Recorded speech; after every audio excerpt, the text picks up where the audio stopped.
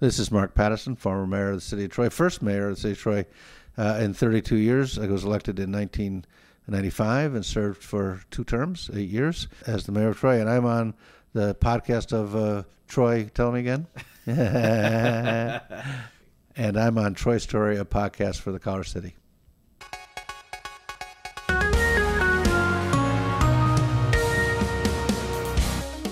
Hello, and welcome to Troy Story, a podcast that explores the history of Troy, New York, one conversation at a time. I'm your host, John Salka. In our previous episode, we took a closer look at the two most recent years in the Collar City's history, 2022 and 2023. For Chapter 2, we're going to be taking a journey back almost 30 years to the distant past known as the 1990s. The year was 1995. Coolio's Gangsta's Paradise, TLC's Don't Go Chasing Waterfalls, and Seal's Kiss from a Rose were dominating the charts. President Bill Clinton was grappling with Speaker Newt Gingrich and a newly empowered Republican House of Representatives.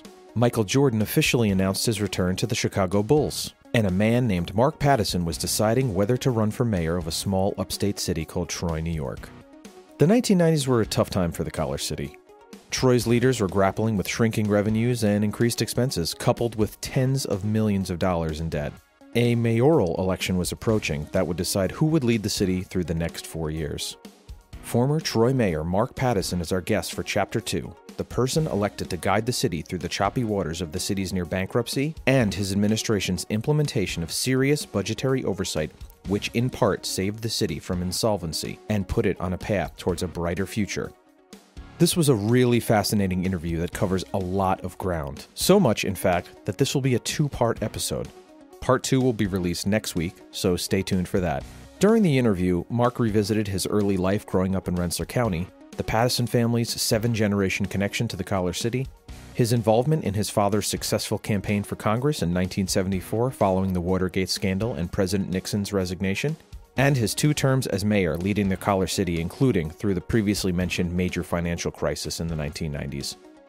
We also explore the razor thin margin in the 1995 mayoral election and that early morning phone call he received that changed the trajectory of Troy forever. Thank you to everyone who checked out Chapter 1 and returned for Chapter 2. As always, please visit TroyStoryPod.com for the latest news on upcoming episodes, special bonus content, and to sign up for email updates. Also, please consider leaving a review of the show on Apple Podcasts. Reviews are the most effective way to help people find the show, and we'd love to hear from you. Lastly, if you have an idea, suggestion, or feedback on the show, drop us a line at mail at troystorypod.com. So, without further ado, let's dive into part one of our interview with Mark Pattison, former mayor of the city of Troy.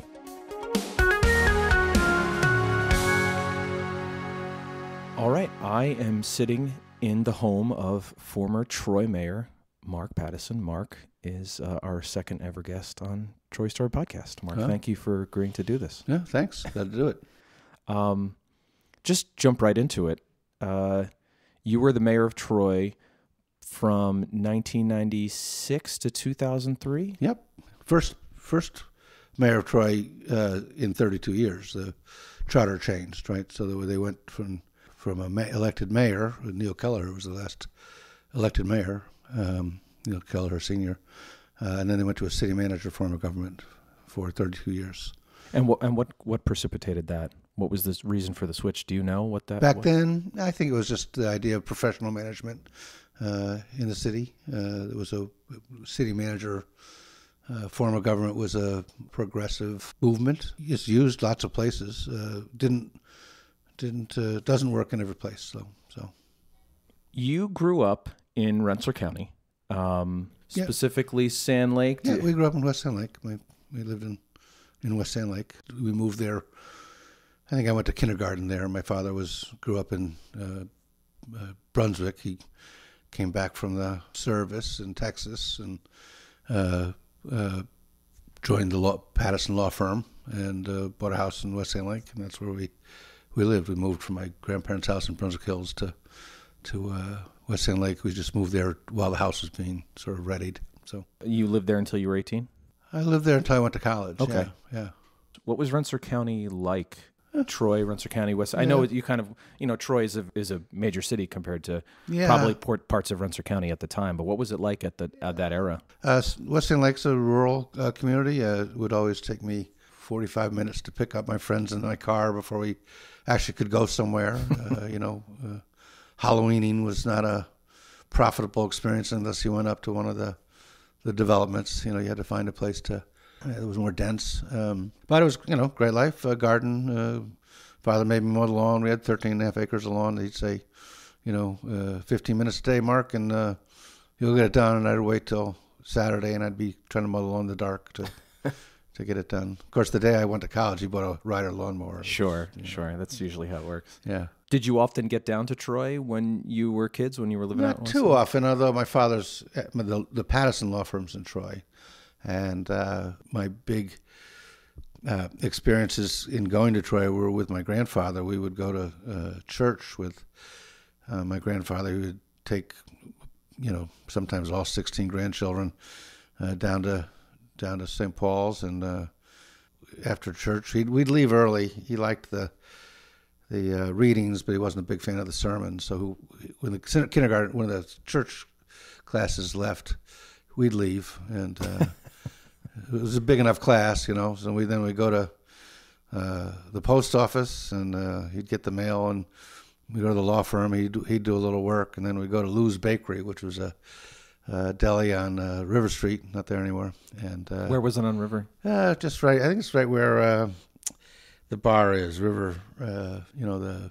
I can't remember what they call it now, but uh, What is that River Street Pub that's Yeah. closed now there Yeah, too? I yeah. think was that State. I think it's State and River. State and River. Yeah. Um, and he'd get uh, uh, rye bread without don't, which is uh, without seeds, don't slice, and corned beef, and give us all a nickel for candy, which we couldn't eat till after lunch. And we go up back to his house, and and uh, sooner or later our parents come pick us up. But and my you know father had you know acquaintances and.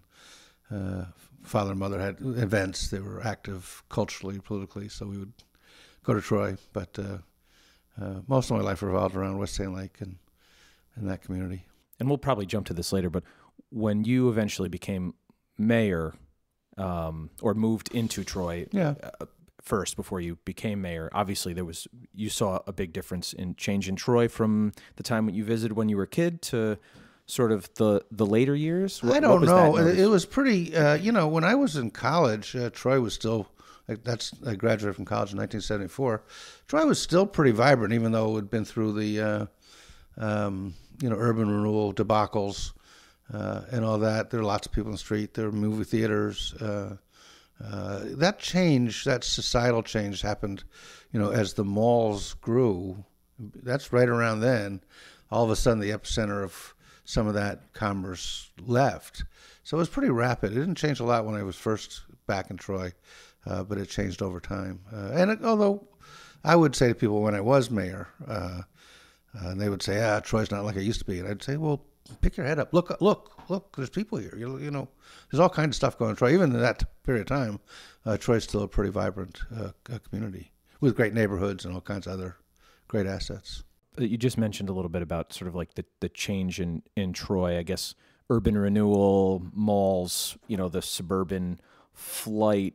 What did that what did that feel like at the time um, to see sort of the, the city change from a uh, from a physical standpoint, the loss of buildings, et cetera? You know, what was your what was your recollection of that era more specifically about how Troy looked? You know, because it looks very different today, um, just based on the pictures um, that I've seen. Yeah, sure, sure. Well, I don't, you know. Again, I think uh, when the when the mall was being put in, I remember my father and some of his colleagues all had opinions about how to do it with sort of a, a, a roof set, sort of an outdoor indoor uh, concept as opposed to the mall they had. They did, you know keep the buildings that were there. That that didn't happen.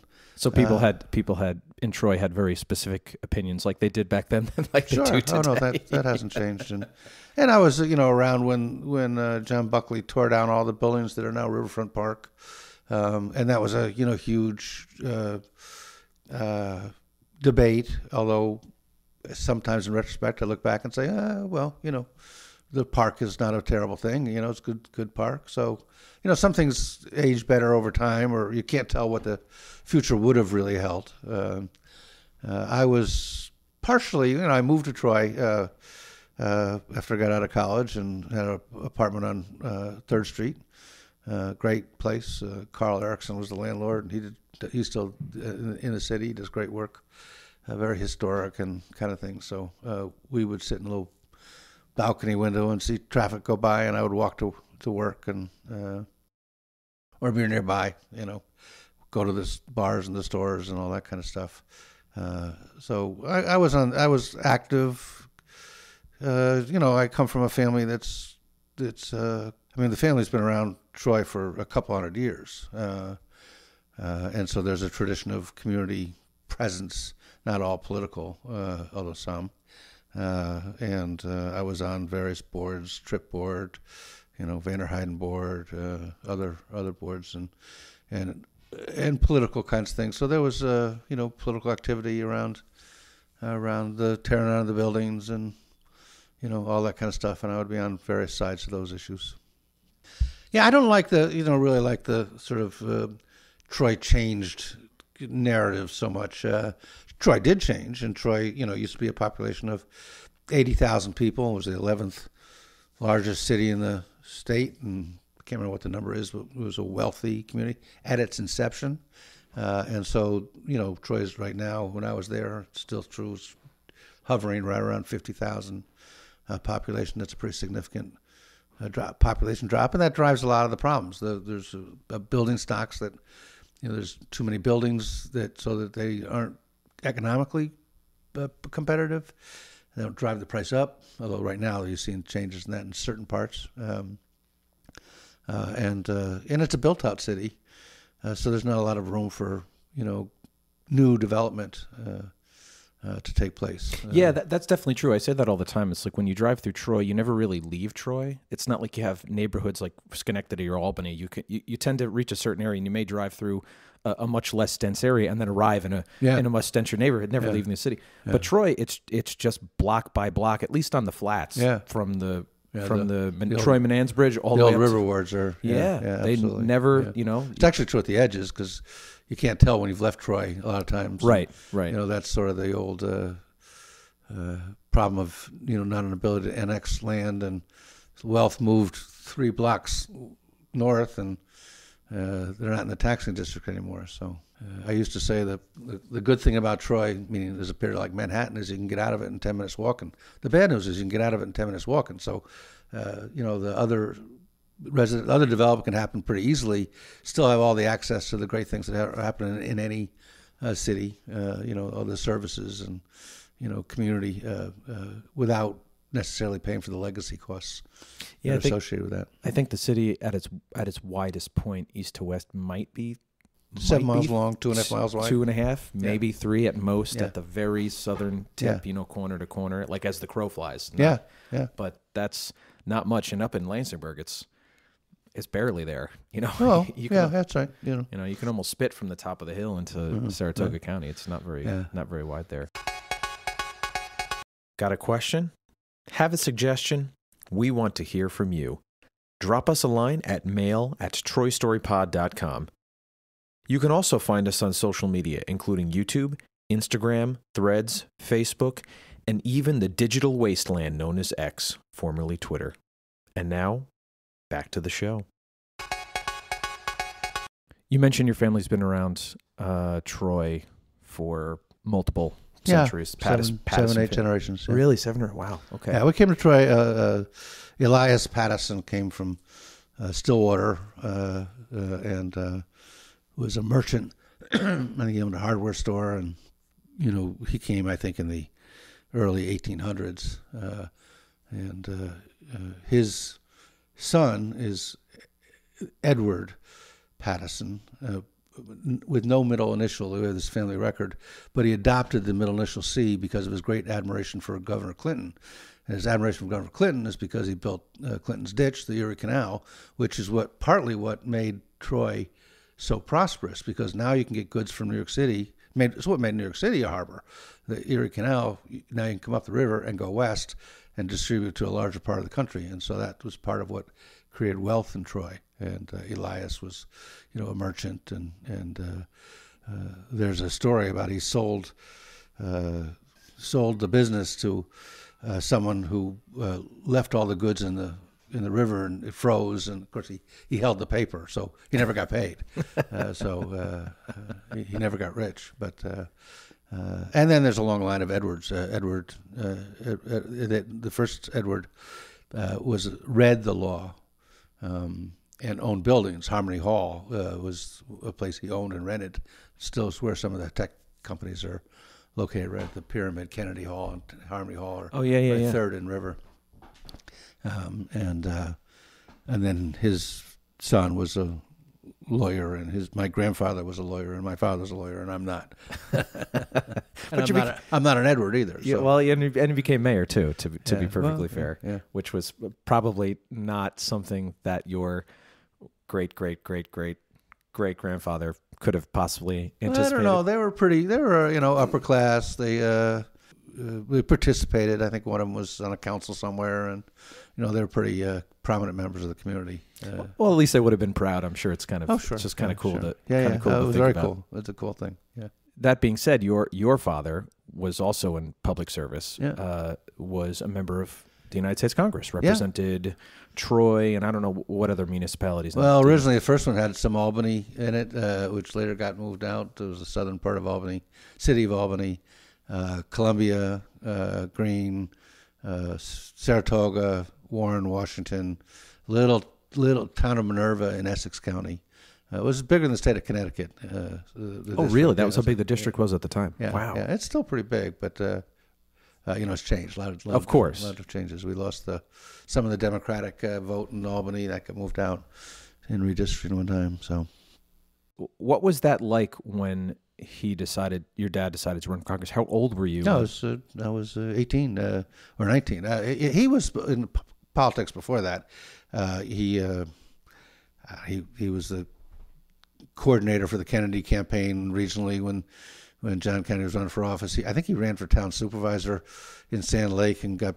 I, I'm, I am not even sure my mother voted for him. I mean, it was it was pr- pr- pretty Republican community, and uh, uh, he was county treasurer uh, in, in in Rensselaer County, and uh, he had run for Congress once before. Uh, in 1970, he ran against Carleton King, and uh, then ran again in '74, which was the Watergate year. So they, he, he's described as a Watergate baby that uh, you know the Democrats swept post post Nixon and uh, gained majorities, and and won in places where they'd never won before. That was you know I came home from college. I was in college. She decided to run. Uh, I I took six eight weeks off, which didn't really work out too well for my first year uh, uh, grades, but. Uh, I came back. I was really the only person in the campaign office for, you know, a little while until he hired some some other folks. Uh, we had our campaign headquarters down in the Rice Building, you know, because my father and his brother John owned the Rice Building, and uh, uh, then I mostly was the guy assigned uh, to travel with him, and uh, because uh, my father's a talker and uh, likes to communicate with people, and you know, campaign you got to move on, keep keep going. So You were the body man. I was the body man, but I could say tell him things that other people couldn't because he he can't fire me. um, and uh, so we did did that. Did a lot of travel. Uh, it was very exciting, uh, and winning was obviously very exciting. And uh, he was a young, uh, you know, buck at the time. So And it, the year that he won, you mentioned it was the post Watergate election, and there was this sort of nationwide sweep. I believe it was the largest. I think it was the largest freshman class It was. ever in, Yeah. in congressional uh, history on, on both sides of the aisle. I think Democrats and Republicans. I believe there were there were fresh Mm-hmm. Yeah. faces that were Right. elected in. I think Yeah, that was a big deal because they suddenly realized that when they got, to, he went down to Congress, you know, you do uh, sort of training is the wrong word, but you go down for orientation, and a bunch of them sort of realized that they had 90 new people, uh, and that was an actual voting block. Uh, so they organized the class of 74.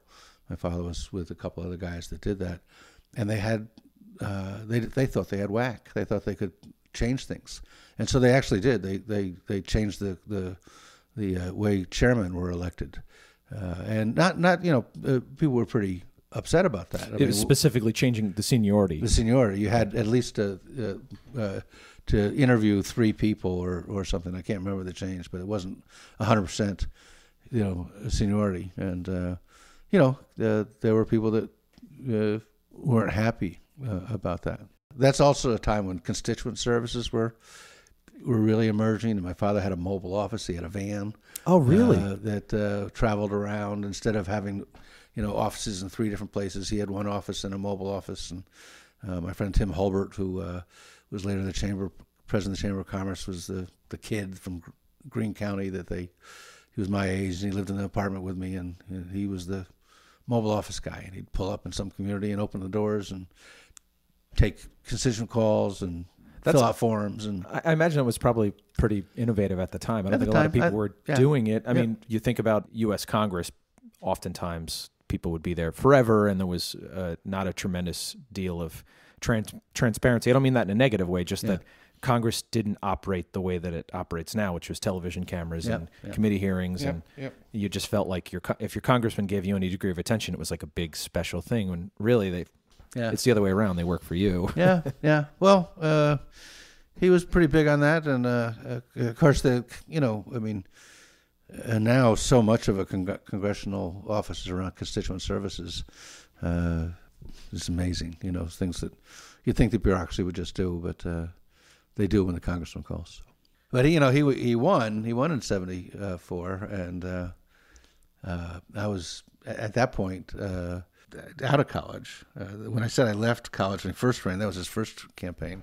Uh, the second campaign, I did something similar, but uh, um, you know, after he won, he he he uh, sat me down and said, uh, you know, look, uh, you're not going to get a job with me, and you're not going to get a job with anybody that it looks like I got you a job. You know, you know, so he was very uh, lily white, as they as they say. Uh, and so, of course, uh, I got a job at the Rensselaer County ARC, Association of Retired Children, which my mother was actually, uh, you know, very in, involved in, and I was a, a weekend counselor and a, later a case manager uh, for the organization. But um, uh, he made sure that uh, we weren't benefiting from his election.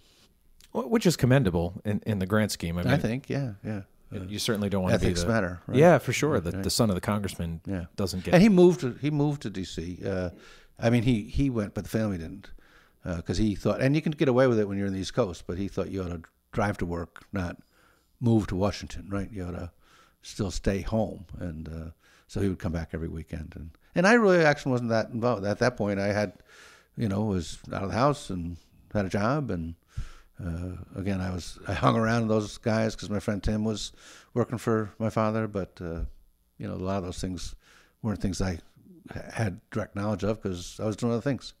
I, you know, along the way, I got uh, bought a house in uh, downtown Troy, and uh, you know, got married and had a kid, and that's about the time that comes to thinking about running for mayor. So. Like what you hear? Well, then it might be time to give us a flattering review. Reviews are the best way to make the mysterious and magical podcast algorithm suggest our modest little show to other listeners. And if you're feeling extra generous, please share this episode with a friend, family member, or that special person in your life.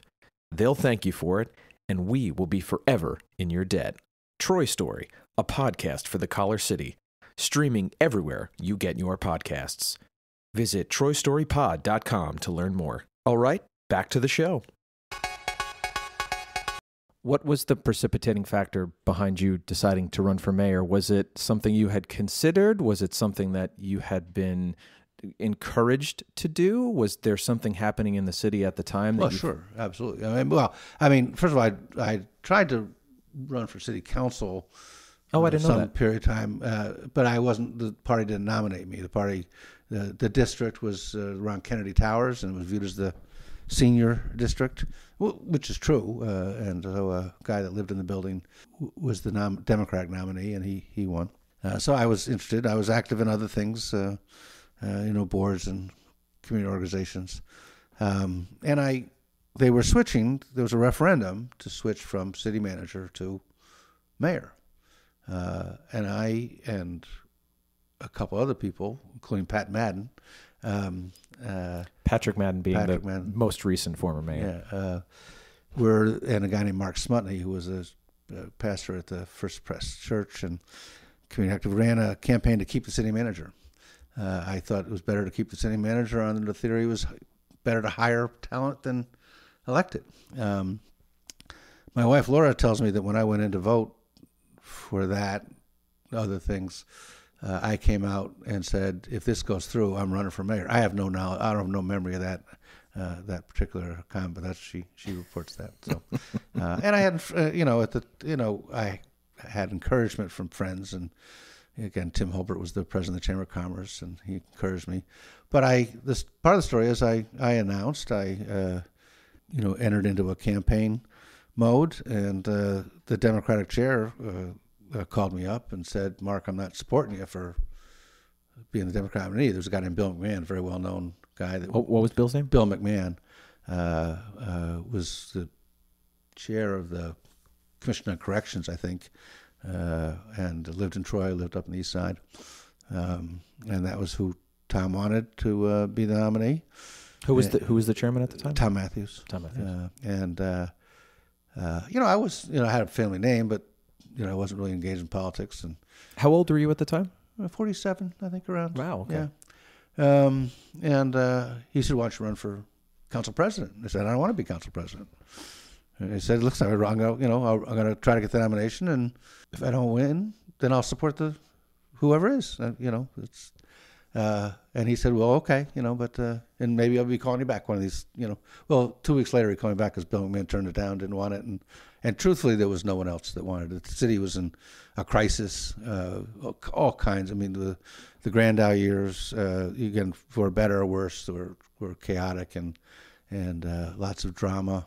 Um, uh, and they were switching. Was going to switch to a mayoral form of, of government. So What was the precipitating factor then? Was it was it the decline in the cities city like no, it was the opportunity. The, the things you you can do uh, in that kind of environment you can't do other times. There's things that you, can you know take you know never let a crisis pass by without it. The crisis is an opportunity. Uh, uh, you know, that was really one of my best.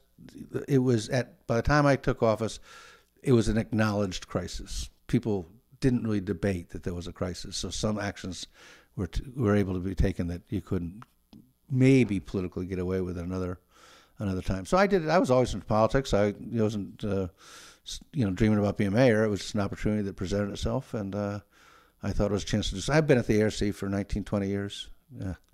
So it was a good time to to change careers. And if I didn't win, then I still had the ARC, the place I loved, working for people with disabilities, and you know, terrific organization, terrific cause. Uh, so uh, you know, it was just it was just an opportunity.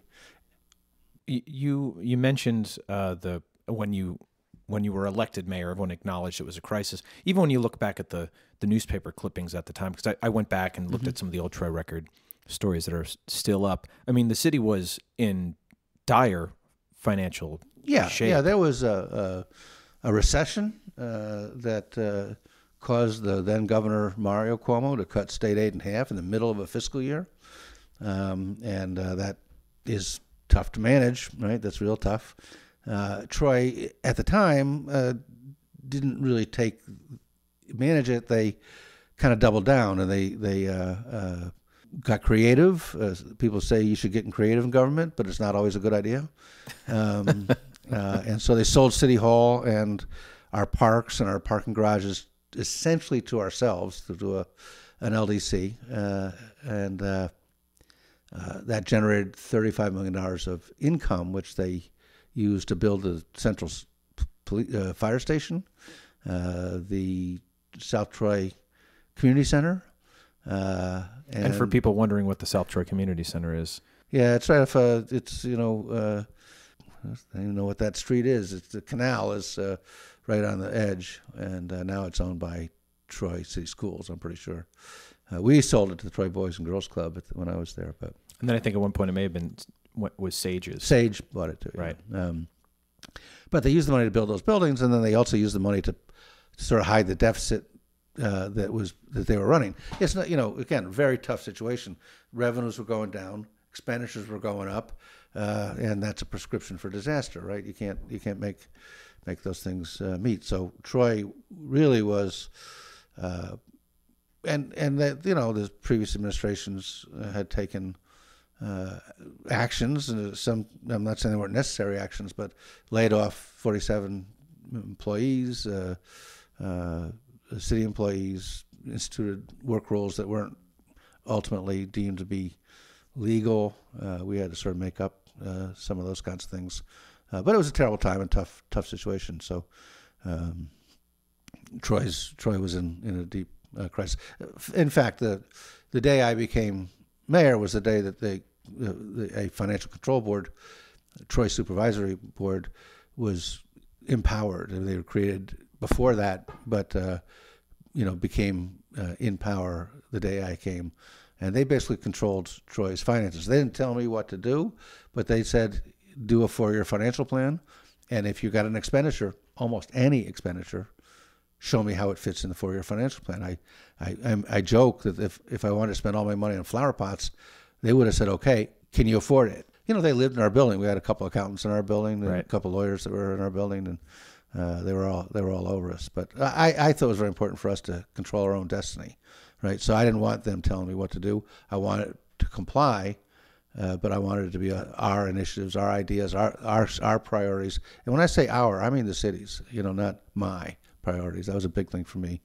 Uh, what got us in that mess was, in some sense, people wanting things that we couldn't afford, and, and elected officials who didn't want to, you know, take tough stances. And so, the, but the root of that is you got to convince the people that these are the changes that need to be made.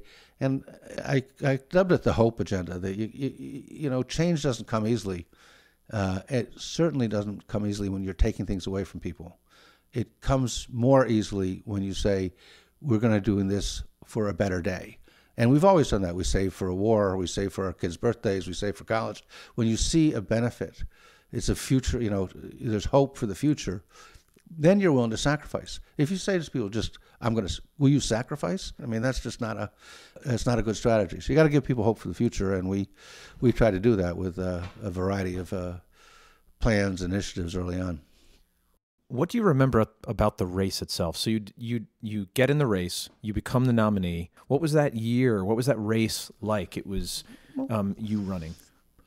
Well, there was a lot of people in the race. There were four other, two, three other people in the race. Kathy Jimino was the Republican uh, nominee. Uh, uh, Mike Rourke uh, was a lawyer in Troy and ran on the the liberal line, uh, and uh, another Mike Petruska ran on the conservative line.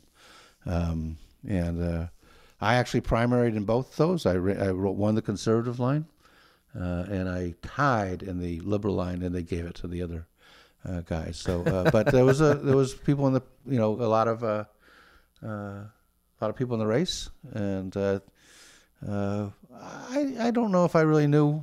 It's easier looking back than it is, you know, at the time because you know I just I had a campaign. I thought I ran a really good campaign. I had a campaign uh, manager. Uh, we we we raised money uh, and uh, you know did the stuff you had to do. Not just we we walked the city and talked to people, and I I always loved that. I would always go to the door and and take a little pause and say, what what do you think? And wait a while and see what they had to say because I was interested in learning from them what you know they thought the solutions might be. Uh, according to Wikipedia, and we'd have to verify this, it says that you um, defeated uh, Kathy Jimino, who you mentioned, mm-hmm. uh, Michael Petruska, yeah. and Michael Rourke. Yeah, yeah. Right. Those were the those were the three. So you, yeah. you hit the nail on the head. Yeah. Um, that was November seventh, nineteen ninety five, was election day. Yeah. Um, and it was you know again it was the first time there was a mayor, so there was a lot of. Uh, you know, the city charter even still isn't really written as if there was a, a, a, mayoral form of government. It sort of blends a lot of the things between city manager and, and mayor. It replaced the name mayor there was a mayor before. It was the head of the council. Now the mayor's elected chief elected officer. Um, and so there are things like, for example, first uh, council meeting, people said, "Well, why aren't you up at the dais?" I said, "Because I'm not the I'm not the council. You know, I'm the mayor. Right, it's a totally Uh, different, totally, a totally different, different, job. The structure. county executive doesn't go sit there and speak only when spoken to and answer questions like that. So it was a you know a, tough change for people. Uh, Right, right, because pr- prior to that, the mayor was a member, just sort of similar to, not exactly like Yeah, the council president was the was called the mayor. So, Right. Yeah. Right. Interesting. Do you love email newsletters? Who doesn't? Head over to troystorypod.com to subscribe for email updates from your new favorite podcast, including upcoming guests, episodes, and even bonus content. Well, what are you waiting for? Okay, let's get back to the show. I I mean, when you when you were knocking on doors, were you getting finances, finances, finances? No, were but were people were talking about you know No, people never. You know, nobody ever got elected from a campaign that said I'm going to balance the books. I mean, just it's not what you know. People care about fiscal. I, you know, that was Iran ran on fiscal stability, but uh, you know, people. It's, and it, and Troy is very different. You know, if you're up at Emerald Greens when you knock on a door, the door's open. Somebody's in the backyard. I mean, the, their issues are snow plowing and garbage pickup and that kind of stuff. But if you're in a different neighborhood, it's about crime and it's about uh, public safety, or you know, th- there's just very different different uh, issues in each uh, uh, each part of the city. So, um, uh, but it was a crisis. People knew it was a crisis, and and I think I came to it with a kind of family legacy uh, that helped. And I ran on a campaign of fiscal stability, economic vitality, and cleaner and safer. Uh, so um, uh, again, but it was close. You know, it was a and uh, an interesting time. It's a the you know just prior to that, uh, Governor Pataki had beat Mario Cuomo. So uh, I was very fortunate in the sense there are a lot of Democrats, talented, experienced Democrats who were looking for work and wouldn't normally have worked for the city, but they were willing to work for me, and I got assembled a uh, a really high quality team. You don't do this job alone. The mayor's job is not a solo job. Uh, you have to build a team and build an organization, uh, and or at least that was my uh, approach to it. election night, uh, 1995, you went to bed. Mark Streb told me this story, who was your Yeah. campaign manager at the Yeah. time, and he told me the story that you went to you went to bed thinking you lost, Yep. and you woke up and you found out that you won. Well, Tom Matthews called me, and I, I, I don't know if I might make this up, but I think he said I don't know if it's good news or bad news, but I think he might have won.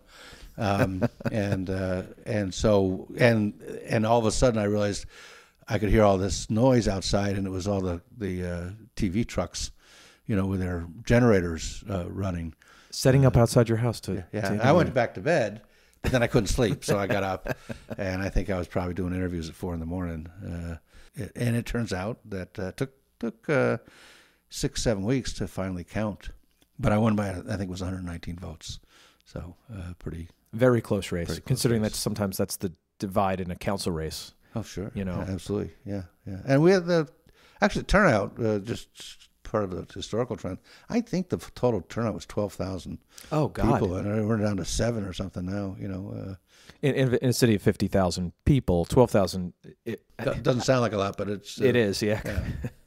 Um, and obviously, Kathy Jimino went on to do just fine. She went on to become county executive. Yeah, for, she worked for the for Senator Bruno. Senator Bruno at that time had just, like in the interim, just became Senate Majority Leader. So she worked for Senator Bruno, uh, and then later ran for county executive one and served for served for sixteen years. yeah, right? She did quite a four long terms. Time. Yeah, Yeah.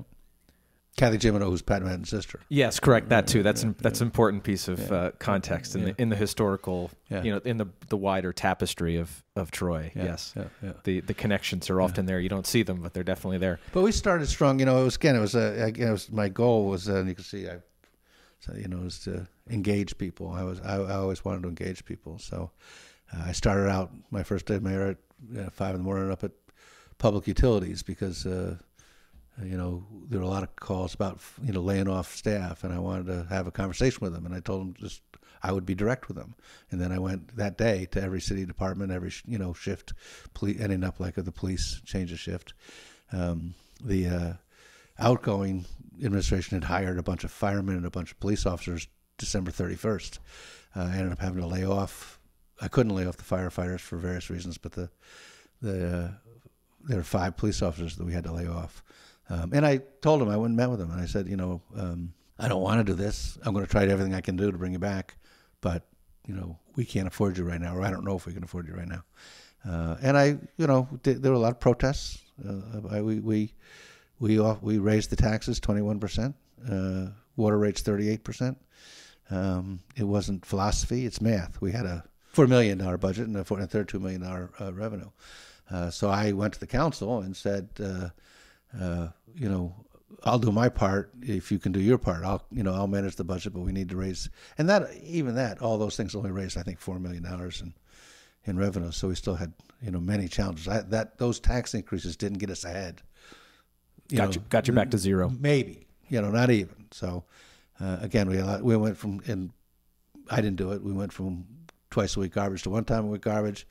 Uh, you know, there are a lot of changes that were made, uh, even previous administrations made, trying to cut costs. Um, so it was a tough time for the public, tough time for the community. We hope you enjoyed part one of our interview with former Troy Mayor Mark Pattison. I can't thank him enough for agreeing to be part of the pod and revisit this often forgotten, or perhaps misremembered, era in the Collar City.